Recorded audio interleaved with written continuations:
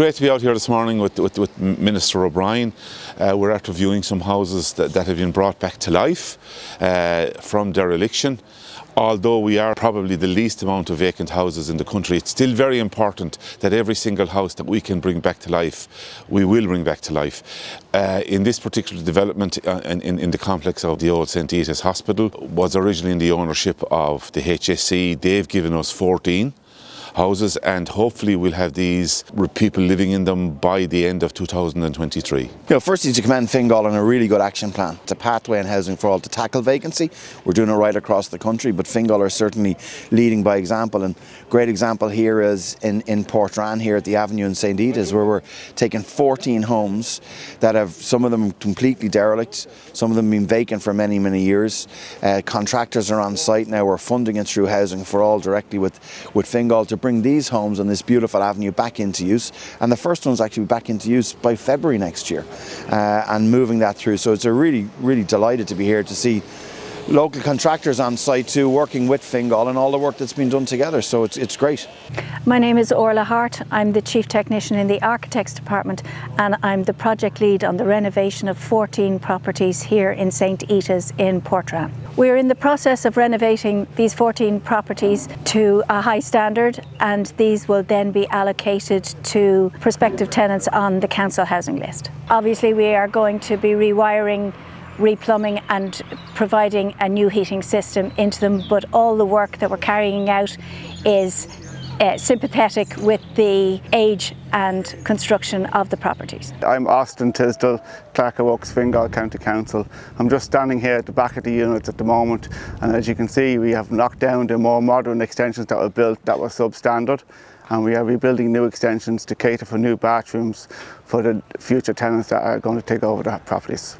As you can see, some of the properties here are in poorer condition than others.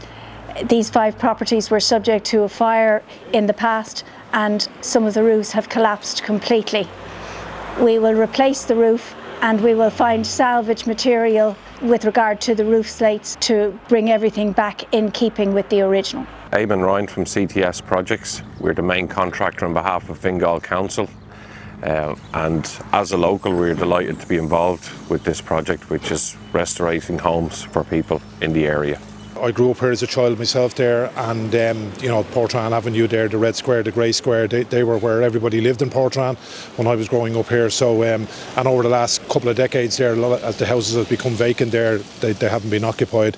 So in effect, they've you know they've been wound down when not being lived in and you know it's it has been unsightly it hasn't looked great we're in the midst of a, of a housing crisis there the hospital is coming back to life with the opening in recent weeks there of the National Forensic Hospital there so it's uh, it's great to see these you know beautiful beautiful homes uh, coming being restored and, and being, being brought back brought back to life. It was very nostalgic, quite emotional actually there because I, I haven't been in the house and uh, you know I could I could remember it there just walking through it there now. It's um, just uh, brought back like the best of memories there. Like this is uh, like literally where we're standing here is where we would have played hopscotch, would have skipped, would have played a bit of football here on the road. Like you know, it was a it was a real family estate uh, back in the day and back here when I was growing up as a child there. So um, so yeah, it's very very nostalgic. The best of amenities, the best of facilities here in the area there. So like it's going to be fantastic to see these homes lived in again and to see hopefully certainly local families or whatever families coming to live in them. It'll be wonderful.